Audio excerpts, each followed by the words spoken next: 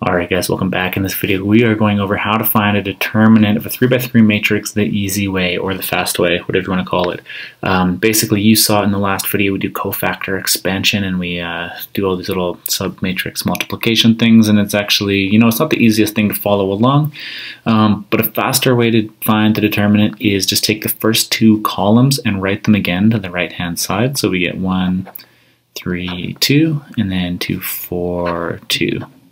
All right, so once you have them written like that, you want to draw your diagonals here. So there's going to be three diagonals that you can do each way.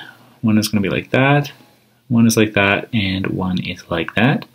You switch colors, and then there's another set of diagonals that goes like this, that each have three elements in them. All right, so now all you do is for the blue ones, the ones that go from top left to bottom right, uh, you take the product of these and you add them all together. So to get started for the determinant of A, then we get the, the first term is just going to be 1 times 4 times 1, plus the second term, which is going to be 2 times 2 times 2, plus the third term, which is going to be 4 times 3 times 2. 4 times 3 times 2. All right, and now what you do is you just subtract all of these products. So you take the product of these diagonals and you subtract all of those. So the first one is going to be 2 times 3 times 1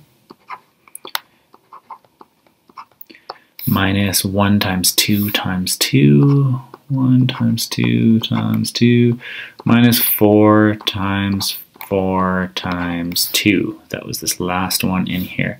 All right, so when we simplify this, we just get this term is 4 plus 2 times 2 is 4 times 2 is 8 plus 4 times 3 is 12 times 2 is 24 minus, what's this, 6 minus 4 minus, uh, 4, 16 times 2 is 32.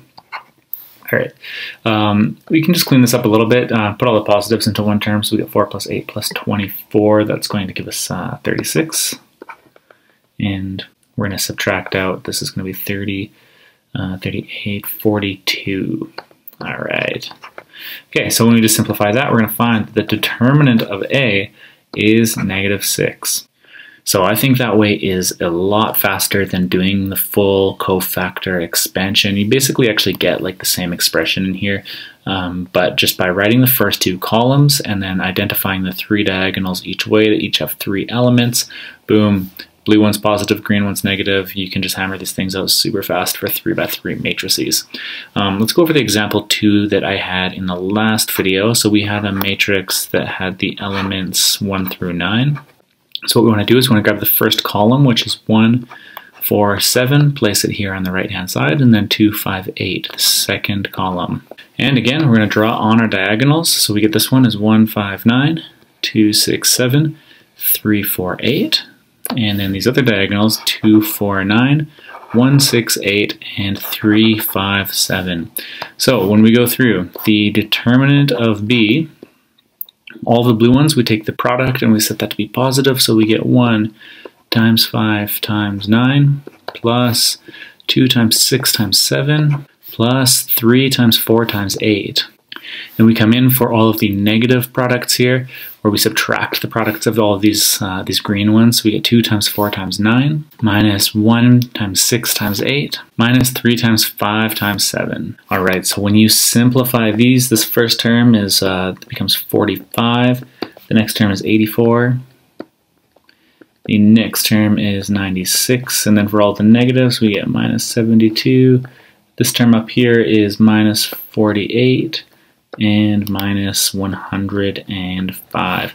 And just for uh, just to help kind of go through the example, if you group all the positive ones, we get positive 225. And then if you group all the negative ones, we get negative 225.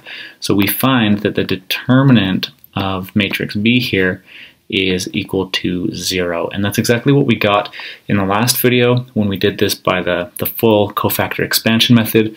But hopefully you guys uh, like this shortcut, and uh, I personally would always opt for this uh, when possible because it's just a lot faster.